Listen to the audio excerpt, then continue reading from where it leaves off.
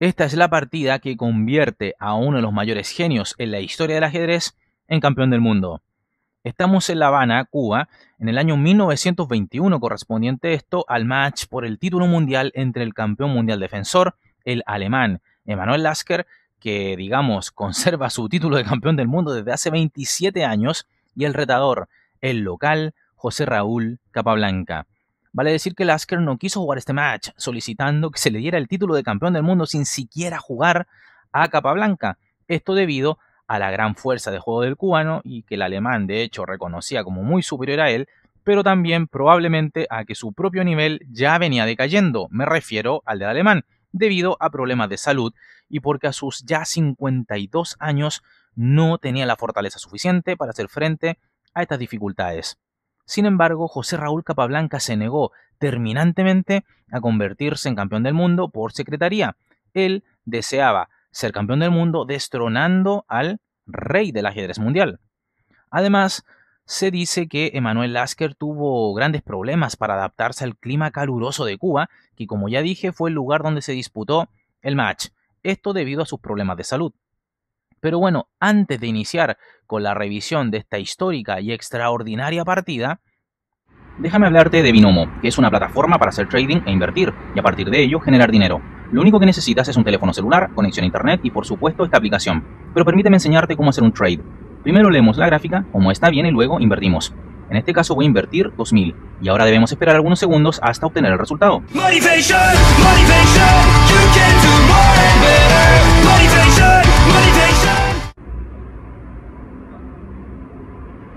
Acabo de ganar 3000 por analizar la gráfica de manera correcta. Lo mejor de todo es que puedes pasar estas ganancias a tu cuenta bancaria sin comisión alguna, es decir, obtienes el 100% del dinero logrado. En la descripción del video te dejo el enlace para que descargues esta aplicación y obtengas mil dólares de regalo en tu cuenta demo para que así puedas practicar, pero lógicamente para ganar dinero real debes invertir dinero real como yo lo he hecho en esta ocasión. Mientras más dinero inviertas, lógicamente mayores podrán ser tus ganancias. Esta partida es la decimocuarta del match y hasta acá el marcador es ampliamente favorable al retador. Decirte que este es un match al mejor de 24 partidas. Al final del video te mostraré cómo quedó el marcador así es que quédate hasta el final para averiguarlo. Pero bueno, sin más, comencemos. Abre la partida Emanuel Lasker con E4, responde José Raúl Capa Blanca con E5, caballo F3, caballo C6, alfil B5, apertura española, también conocida como Ruy López, y ahora Capa Blanca responde caballo F6, planteando la defensa berlinesa, que hoy en día es un verdadero dolor de cabeza para los jugadores de española, pero que en la época de esta partida no estaba tan desarrollada como hoy. Sigue el campeón mundial reinante con Enroque, el retador de 6. Como ves, para nada se parece esta configuración a la defensa berlinesa de hoy en día, donde en realidad se juega caballo por E4, a lo que sigue D4, caballo de 6, alfil por C6, D por C6, D por E5, caballo F5, dama por D8 jaque, rey por D8, etc con una posición seca, de difícil progreso. Pero bueno, la partida se jugó de 6, sigue esto con D4, alfil de 7, desclavándose, caballo C3, alfil de 7, alfil por C6, alfil por C6, atacando el cubano con dos piezas al peón D4. Así es que el alemán juega dama D3 que, en combinación con el caballo de C3, protege al importante peón central de E4. Sigue la partida con E por D4, caballo por D4, alfil D7, preservando capa blanca la pareja de alfiles. Es interesante notar que esta misma posición se ha jugado en partidas modernas, como las de Anand contra Vescovi en el año 2004 o la de Felgaer contra Campora en el año 2006. Por tanto, ambos jugadores están jugando con mucho sentido la apertura. Sigue esto con alfil G5, enroque, torre a E1, moviendo la torre de A hasta E1 y no la de F, probablemente porque Lasker desea jugar un F4 en el futuro y para ello una torre en F1 empujando a dicho peón sería muy útil. Sigue la partida con H6, alfil H4, caballo H7, una jugada astuta de capa blanca. Como he dicho en otros videos, en términos de estrategia, cuando un bando tiene menos espacio en el tablero, debe buscar el cambio de piezas para descongestionar su posición. Precisamente esta ley está cumpliendo capa blanca con su último movimiento. Sigue esto con alfil por e7, dama por e7, caballo de 5, dama de 8, c4. Las blancas tienen ahora una posición poderosa y las negras tienen que jugar con sumo cuidado para evitar caer en una posición desesperada. Sigue la partida con torre e8, las blancas f4, c6, caballo c3, dama b6, tocando en b2. Sigue esto con b3, torre a d8, rey h1. Buena jugada del campeón del mundo. Quita su rey de la mirada satánica de la dama negra, que por rayos X ya miraba con ganas al monarca blanco. Sigue la partida con caballo f6, h3, alfil c8, torre d1. Las blancas apuntan al peón de d6. Saben que esa es la debilidad de las negras. Sin embargo, también decir que las negras captan que la debilidad de las blancas es el peón de f4. La lucha estratégica, por tanto, en este juego está totalmente garantizada. Sigue la partida con torre 7, torre fe1, torre de e8, torre e2, dama a5, torre f1, dama h5, rey g1, a6, torre f, f2, dama g6, torre f3, dama h5, f5. Una jugada que bien podría considerarse como dudosa. Y de hecho, el propio Capablanca, partida la valora de ese modo. El cubano menciona que si bien esta jugada cierra la diagonal al alfil negro, debilita aún más al peón de e4 y también crea un agujero en e5 para las piezas negras. En síntesis, la posición a primera vista parece bien para las blancas, pero en realidad esto no es real. Continúa la partida con dama h4 y ahora rey h2, un error grave de Lasker. De acuerdo a lo señalado en crónicas, el alemán estaba con problemas de tiempo en su reloj, lo que sumado a la complejidad de la posición le ha llevado a cometer este fallo. Esto Capablanca lo aprovechará, por supuesto. Ahora bien, en lugar de rey h2, era posible haber jugado cualquier otra cosa. Por ejemplo, un torre f e3, o bien una 4, para ir frenando el contrajuego negro en el flanco de dama, etcétera, etcétera. Pero rey h2 es un error terrible, y fíjate por qué. Sigue capa blanca con caballo g4 jaque, rey h1, caballo e5, con doblete a dama y torre. Sigue la partida con dama de 2, caballo por f3, el retador gana la calidad, caballo por f3, dama f6, a4, g6, f por g6, f por g6, torre e3, alfil f5, dama d3. Lógicamente no e por f5 debido a torre por e3, ¿verdad?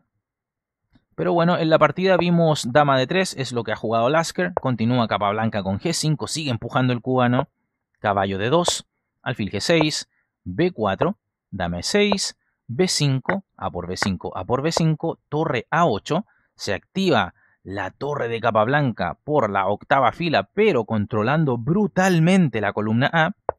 Sigue esto con dama B1, de alguna forma para impedir la irrupción de la torre negra a la casilla de A1. Sigue esto con dama E5, dama E1, rey H7, B por C6, B por C6, dama G3. Y ante este ofrecimiento de cambio de damas, el cubano acepta gustoso. Así es que dama por G3, torre por G3, torre A3. Las torres de capa blanca son muy activas. Es acá como se aprecia la destreza del cubano para los finales. Algunos refieren que ha sido el jugador más fuerte y preciso de la historia en esta faceta del juego, el final.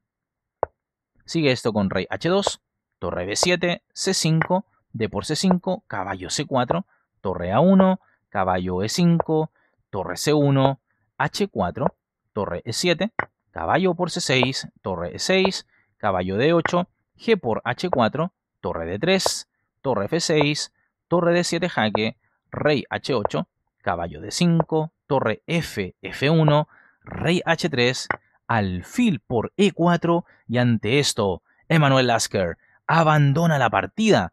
Esto debido a que no solo se amenaza a capturar al caballo, sino que también un alfil f5 jaque que ganaría la torre blanca. Luego de esta derrota, Emanuel Lasker decide abandonar el match y con esto José Raúl Capablanca se convierte en campeón mundial de ajedrez, el tercero de la historia. Algunas crónicas mencionan que el alemán por recomendación de su médico, decide abandonar el match. Y es que matemáticamente aún tenía chances de poder revertir el marcador. A propósito de aquello, acompáñame entonces a ver el marcador de este match. Y aquí lo tienen, señoras y señores, el marcador del match. 9 a 5 a favor de Capablanca, con 4 triunfos para el cubano, 0 para el alemán y 10 tablas. Si te fijas, es hasta la partida 14 que se juega este match. Quedaban aún 10 y por tanto matemáticamente era posible para Lasker poder luchar por revertir el marcador pero el problema está en que su médico, tal como dije hace algún instante, le ha sugerido a Lasker abandonar el match. El clima de Cuba, la tensión del torneo y todo aquello le estaba haciendo pésimo a la salud integral de Manuel Lasker. Por tanto, este le da, creo yo, con justa razón, más importancia a la salud que a un título mundial. Pero por lo demás, esto no quita mérito a lo logrado por José Raúl Capablanca. Como dije al principio del video, Lasker ya lo reconocía como muy superior a él. De hecho, aunque hubiesen jugado esto en un clima mucho más favorable para él, sea, no sé, cualquier país de Europa o inclusive la Antártica o el Polo Norte, da igual, Capablanca igualmente habría ganado. Pero bueno, ha llegado el momento de saludar a las primeras personas en llegar al chat del video estreno anterior. Ellos fueron Alejandro Mellizo, Luis Ángel Álvarez, Diego Vladimir Flores, Terratium, Sebas Bersam, Daniel Martínez, Andrés Jerónimo Rodríguez, Andrés Labra, Chino Goss y Alexander Ilner. Si quieres aparecer en estos saludos personalizados, simplemente debes de mantener activa la campana de notificaciones y aparecer de los primeros en el chat. De esa manera te saludaré al siguiente video. En relación a los mejores comentarios del video estreno anterior, tenemos los de Pablo Naidorf, que nos dice Bobby Stockfisher, caballo por H3, sacrificio, Korsnoy, ok, G por H3, termómetro, ya te fuiste a la che su madre. Luis Ángel Cáceres nos dice, Bobby Fischer, estoy cansado de este mundo, de su gente. Y NM Producciones nos dice, siempre pensé que si Fischer no se hubiese retirado durante tantos años, hoy sería el mejor jugador de la historia por lejos, tranquilamente pudo haber ganado mucho más que Gasparov, Capablanca, Carlsen, etc. Recordarte que puedes convertirte en miembro del canal haciendo clic en el botón unirse. Cada día somos más. Obtendrás algunos beneficios, videoclases para tu progreso ajedrecístico, estas coronas de fidelización y además podrás ver algunos videos del canal antes que el resto de suscriptores, así es que no lo dudes y conviértete en miembro.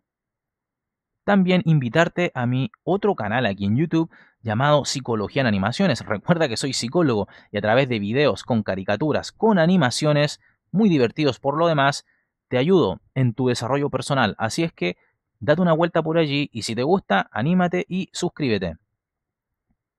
Finalmente, agradecer a aquellos suscriptores que apoyan al canal con una donación y que tienen su espacio muy bien ganado allí al costado derecho del tablero a modo de tributo.